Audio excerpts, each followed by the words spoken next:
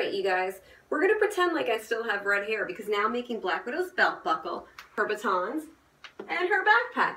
Because you need a backpack, right? Like sometimes you want, want your batons out, but you know, you also want to be able to like put your batons somewhere so you have your hands free so you can send people text messages or whatever, right?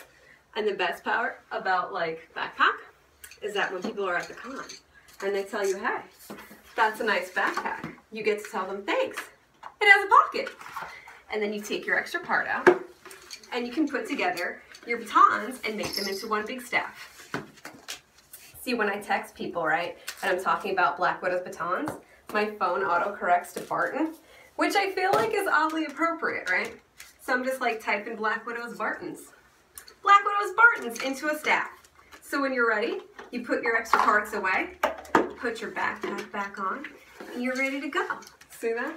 See how fun that is? You can probably also use it to smuggle in liquor. Not that I would ever do that, and I definitely haven't been drinking. Have fun, you guys!